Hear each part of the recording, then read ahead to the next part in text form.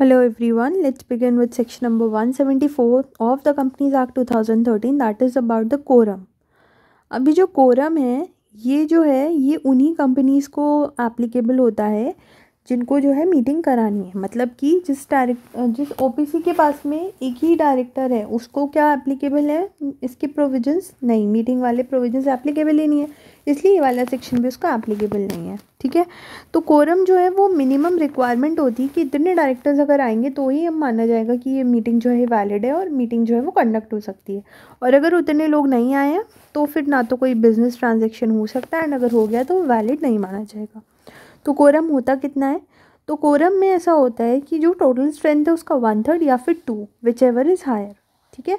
तो वो जो है वो आपके काउंट होंगे एज कोरम। तो जैसे सपोज़ किसी कंपनी में total there are nine directors तो उसका वन थर्ड अगर हम करेंगे तो थ्री तो थ्री और two whichever is higher तो मतलब वहाँ पर जो कोरम होगी दैट विल बी थ्री अच्छा अगर मैं बोलूँ कि किसी कंपनी में जो है वो सेवन डायरेक्टर्स हैं टोटल तो सेवन का अगर हम वन थर्ड करेंगे तो वो कितना आएगा? टू पॉइंट थ्री आएगा two point three three right तो उस केस में two point three three directors आप कहाँ से लाओगे? तो यहाँ पर इन्होंने साफ़ साफ़ लिखा है कि कोई भी फ्रैक्शन अगर होगा तो उसको हम मानेंगे वन तो मतलब कि two point three will be considered as three और उस केस में जो है टू पॉइंट थ्री की जगह जो है, हम माना जाएगा कि it is considered as three तो इसलिए यहाँ पर थ्री और two whichever is higher again यहाँ पर थ्री जो है कोरम बन जाएगा। ठीक है? आई होप कि आपको समझ आ गया होगा। ये एक रिविजन क्लास है सो डू नॉट एक्सपेक्ट कि ये बहुत ज़्यादा आपको मैं एक्सप्लेन करूँगी। उसके बाद में है, जो टोटल स्ट्रेंथ है shall not include those directors जिनकी जगह खाली हो गई है। ठीक है? दोज हु हैव वैकेटेड उनको जो है काउंट नहीं करेंगे टोटल स्ट्रेंथ में। नाउ कोरम जो है थ्रू आउट द मीटिंग होना चाहिए। दिस इज़ वेरी इंपॉर्टेंट ये किसी स्टडी में आपको बोल सकते हैं कि आ, मतलब जो मिस्टर एक्स थे वो स्टार्टिंग में आ गए और बीच में चले गए या उनकी डेथ हो गई या कुछ भी हो गया। तो इट शुड नॉट हैपन अब मीटिंग के बीच में डेथ कैसे होगी? मतलब वो थ्रू आउट द मीटिंग नहीं थे वो कहीं चले गए कुछ भी हो गया ठीक है? तो उस केस में ऐसा है कि not just at start but it should be throughout ठीक है? Now it may be noted कि जो आर्टिकल्स है ठीक है, कि not specify a quorum which is less than the prescribed तो इसमें जो हमारे सर हैं, उन्होंने जो है, बहुत अच्छा सा एग्ज़ाम्पल दिया है कि जैसे सपोज़ शुभम सिंगल सर जो मेरे सर हैं, उन्होंने काफ़ी अच्छा एग्ज़ाम्पल इसमें दिया हुआ है। दैट सपोज़ आपके फादर ने आपको बोला कि बेटा तुम दस बजे से पहले पहले घर आ जाना। So your mother can not tell you कि बेटा तुम ग्यारह बजे तक घर आ जाना। But your mother can tell you कि बेटा तुम आठ बजे से पहले पहले घर आ जाना। तो दैट मीन्स जो आपके फादर ने बोल दिया है उस लिमिट को आपकी मदर एक्सीड तो नहीं कर सकती हैं बट उससे भी ज़्यादा एक स्ट्रिक्ट प्रोविज़न आपके लिए बना सकती हैं। तो उसी तरह से काम होता है एओए का। तो ए में जो यू you नो know, उसमें एक्ट में लिखा है वो तो आपको मानना ही है लेकिन ये क्या कर सकती है ना, ये एक हायर नंबर जो है कोरम का वो भी लगा सकती है। मतलब एओए आपको ये नहीं कह सकता कि आप दो की जगह एक ही डायरेक्टर से काम चला लो कोरम में। बल्कि ए क्या कर सकता है, दो को बढ़ा करके चार या छः कर सकता है। ठीक है? तो इसमें यह है कि ए जो है, आपकी जो प्रोसीडिंग्स है, उसको और ज़्यादा स्ट्रिक्ट तो बना सकता है लीनियंट नहीं कर सकता। तो इसमें यह है कि इट मे बी नोटेड कि जो आर्टिकल्स हैं, वो स्पेसिफाई नहीं कर सकते कोई भी कोरम जो लेस हो इससे, लेकिन अगर ये हायर नंबर देना चाहें कोरम का तो वो जो है, वो हो सकता है, ठीक है? उसके बाद में कुछ मॉडिफिकेशंस हैं। Now this modification applies to section number eight section number eight companies. तो इसमें क्या बोला है कि जो सेक्शन नंबर एट है, उसमें जो है वो कोरम क्या रहेगी? उसमें जो कोरम रहेगी that will be eight members और twenty five percent of its total strength whichever is less whichever is less यहाँ पर हाई नहीं है, यहाँ पे लो है। तो मतलब आठ लोग या twenty five percent of the total strength whichever is less now provided that the quorum shall not be less than two members लेकिन दो लोगों से कम नहीं होने चाहिए। दो लोग तो होना ही चाहिए यहाँ पर भी। ठीक है? ना उसके बाद में क्या है?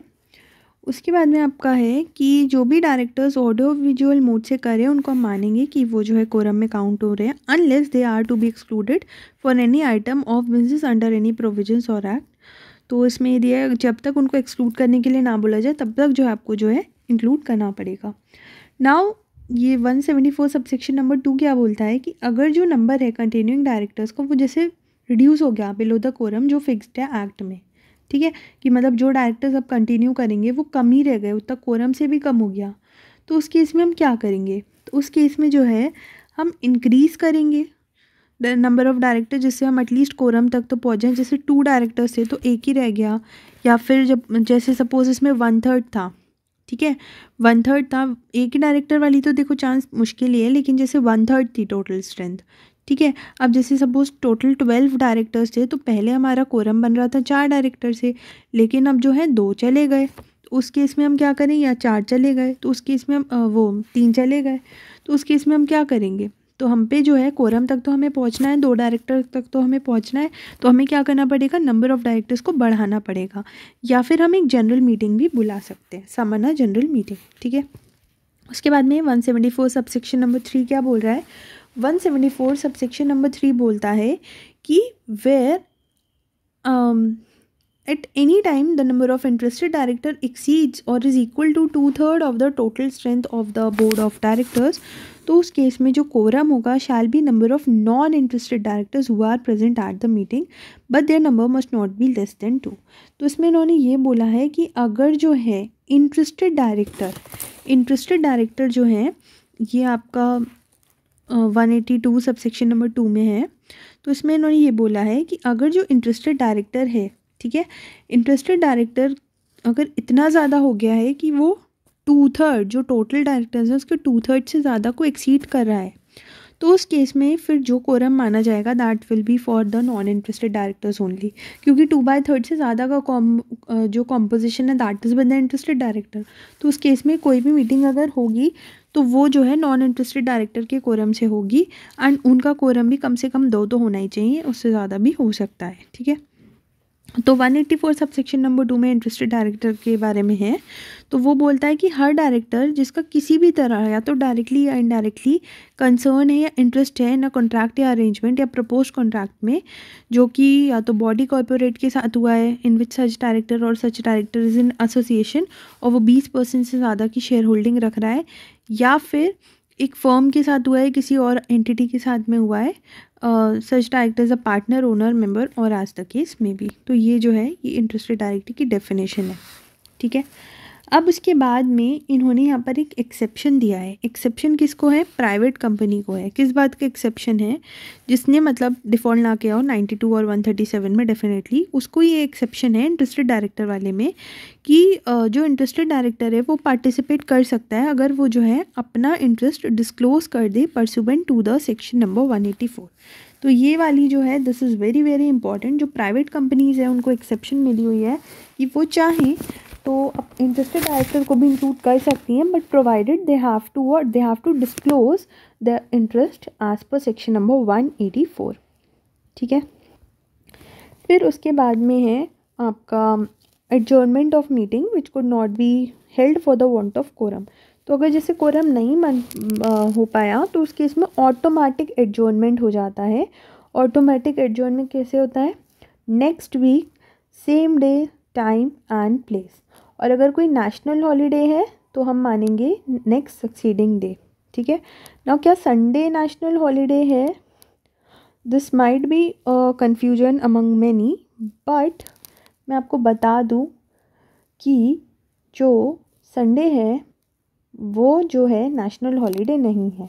उसी तरह से एक केस जो है, वो और बहुत ज़्यादा इंपॉर्टेंट है कि आप चाहो तो मीटिंग को नेशनल हॉलीडे पे स्केड्यूल तो कर सकते हो, लेकिन एडजर्न नहीं कर सकते। मतलब ओरिजिनल मीटिंग तो हो सकती है नेशनल हॉलीडे पे, लेकिन एडजर्न मीटिंग जो है वो आप जो है ऑटोमेटिक एडजर्नमेंट वाली वो नेशनल हॉलीडे पे नहीं कर सकते हो। लेकिन अगर आपने अपनी मर्ज़ी से एडजर्न करी है वॉल्टरी एडजर्नमेंट है, उस केस में भी आप जो है नेशनल हॉलीडे कर सकते हो, ठीक है? So this is very very important also क्या हम ऑल्टरनेट डायरेक्टर को कोरम के लिए मानते हैं? तो हम मानते हैं और हम ऑडियो विजुअल मोड वालों को भी जो है वो मानते हैं कोरम में, ठीक है? नाउ एक चीज़ जो है वो और आती है कि जैसे सपोज़ कोई वीडियो कॉन्फ्रेंसिंग मीटिंग हो रही है और उसमें ओरिजिनल डायरेक्टर भी है और ऑल्टरनेट डायरेक्टर भी है तो उस केस में हम क्या करेंगे? तो किसको हम माने? ओरिजिनल डायरेक्टर को या ऑल्टरनेट डायरेक्टर को? ओरिजिनल डायरेक्टर की जगह ही तो था अल्टरनेट डायरेक्टर पर, अब दोनों हैं तो उस केस में आप उनको दो लोग नहीं मानोगे, आप सिर्फ़ कोरम के लिए काउंट करोगे ऑफ़ ओरिजिनल डायरेक्टर ठीक है? लेकिन ऐसा नहीं है कि ऑल्टरनेट डायरेक्टर को हटा दोगे वो मीटिंग में रह सकता है but you will not count that person for quorum if the original director is there ठीक है? सो दीज वो सम एडिशनल पॉइंट्स ठीक है ना? और ये मैंने आपको स्टार्टिंग में बताई दिया था कि ओपीसी जिसके पास एक डायरेक्टर है उसको इस uh, ये सेक्शन नहीं लगेगा। ना एग्ज़ाम्पल देख लेते हैं क्या है example so there are nine directors जिसमें कि जो out of which two office of the directors have fallen vacant now according to section number one seventy four sub section number one जो कोरम है वन थर्ड होती है या to होती है विच एवर इज़ हायर और जो total है this to be derived after deducting the number of directors whose office are vacant तो ये जो है, ये वही एग्ज़ाम्पल इन्होंने रिपीट करा है। ना अगर पंद्रह हो गए हैं तो क्या होगा? ना अगर पंद्रह हो गए हैं और किसी भी टाइम पे एक्सीड कर दिया है इंटरेस्टेड डायरेक्टर वाला पॉइंट आ गया है तो नॉन इंटरेस्टेड डायरेक्टर से ही हम जो है वो कोरम बनाएँगे। So this was about this then ये हॉलीडेज़ के बारे में था जो मैंने आपको बता दिया। अब इसके बाद में हमारा नेक्स्ट सेक्शन स्टार्ट होता है that is section number one seventy five तो ये हम नेक्स्ट वीडियो से स्टार्ट करते हैं।